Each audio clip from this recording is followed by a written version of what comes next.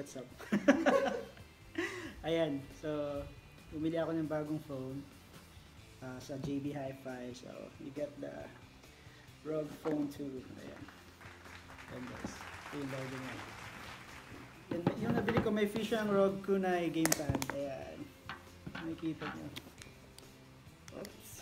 Tara, buksan natin.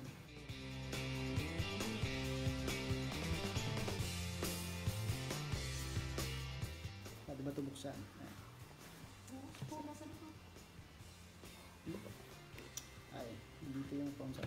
Tabi muna natin to. Ayan. So, ito na guys yung package niya. Ayan natin.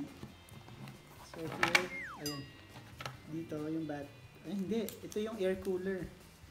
Ayan. Tapos ito. Oh, wala.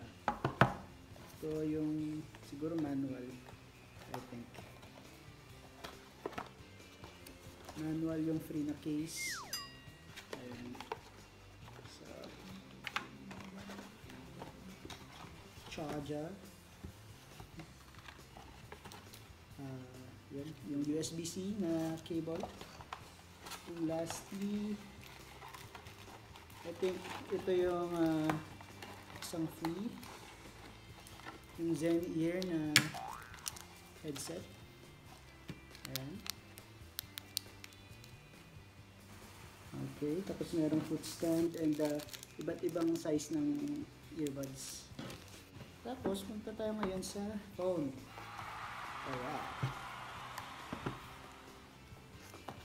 Ano ba? Ah, meron pang ano. May isa pa? Hindi. Ano ba? Ano ba natin ito buksan?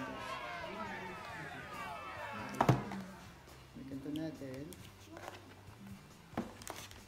Boom! Voila!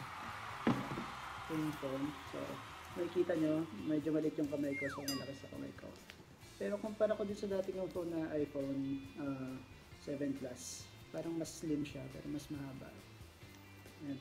Kung i-ano natin yung comparison, ayun, gagamit ko pala yung iPhone ko pang video.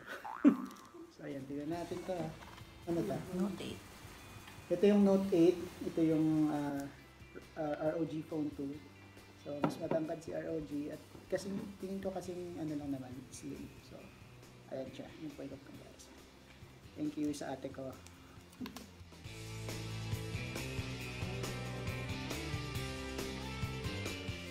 Yung bigla yung phone. Ayan. Tignan niyo yung ano. Oh, yun. May ilaw siya sa likod. Nag-iiba-iba ku- kulay nito guys. Eh. So ito siya. Ayan. So ibaba ko muna dito ha. Hindi na natin explore. So buksan naman natin yung isang ah, kasama niya. Itong ROG Kunai Gamepad.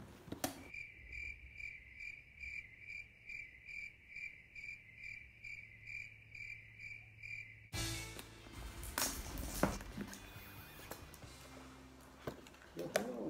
Ayan, so. Ay, na-assemble pa pala siya. So, ito yung, para siyang sa switch. Actually. Ito, yung ano, yung naka, ano sa, nakaganyan. Tapos, I guess dito nilalagay yung phone. May triggers, may trigger button siya. Meron pa sa likod. Ah, so meron siyang parang ano, ah, I think ito yung uh, kunay bumper upright and then oh, case ng ano dito.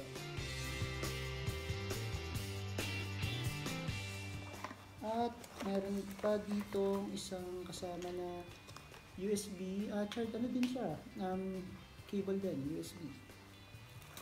Tsaka uh, USB-C to 2.5mm jack kung gusto mo mag-music gamit yung usual mo na uh, headphone or headset.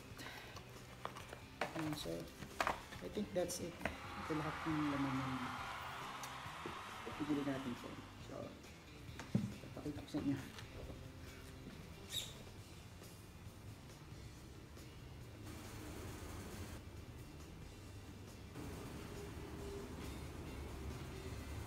Alright, magkukutingting na ako. Bye.